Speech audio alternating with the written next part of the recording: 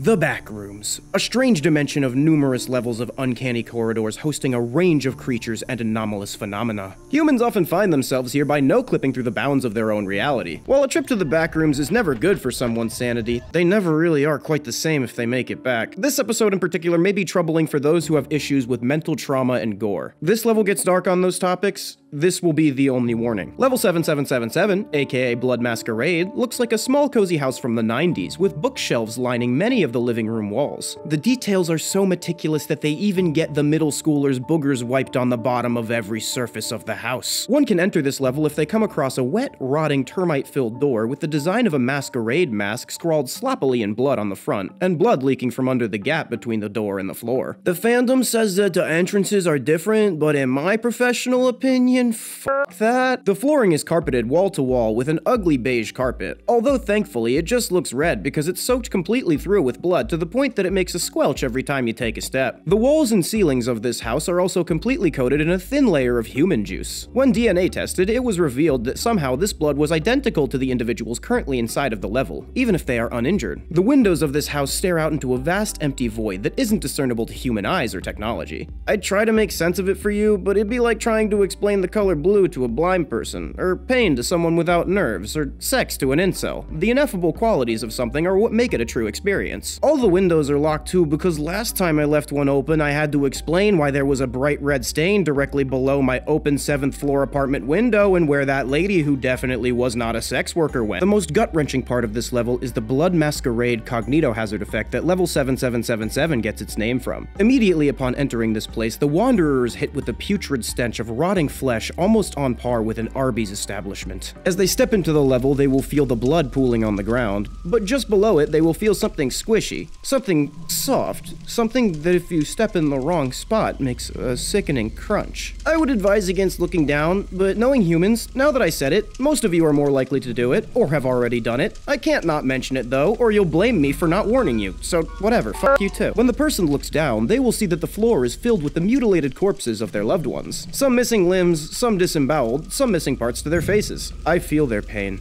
I pull my hangnail too far. The most common outcome is that the Wanderer will immediately have their psyche shattered, and will lay on the blood-soaked ground before getting dragged down by the mutilated hands of the corpses, offering no resistance as they join the pile of rotting flesh. Dude, I own an original Ed Gein lamp, and even I think that's a bit over the top. If they do not die from this, they will likely violently lash out against anyone in the room before they descend into insanity. The only confirmed ways to end the insanity induced by the blood masquerade effect is via death or power washer lobotomy. One squirt up the nose and boom, sentient thought is is completely gone. And now my mentally incapacitated drooling friend has behavior yet again more aligned with what society deems acceptable. These are not actually the real versions of your friends and loved ones, just like how if that blood all over the wall actually came from your body, you'd be dead and emptied like a scrunched up juice box. Although this might be hard to stomach when you feel the viscera and blood of your beloved childhood friend squished between your toes. If the person is a psychopath or has made no deep connections in life, they will be immune to this cognito hazard, and will not see dead bodies of anyone specifically, just a blood-filled house with a bunch of murdered faceless mannequin people. While this might be disturbing still, at least one of you psychopaths is aroused by this. As someone who constructs cognito hazards, you can tell a lot about an artist from their art, and this entity needs someone to talk to and a hug and to be away from all sharp things for its own safety and for everyone else's. If you like this video and want us to come back to the back rooms and do more sus things, make sure to like, comment, and subscribe with all notifications enabled, or I'll find a big stick and hit you until you stop moving. Real quick before we go, I'd like to thank Maya Bunny 23 for these new dope stills. They're a cult classic and in the description of every video. Oh, hey, bye.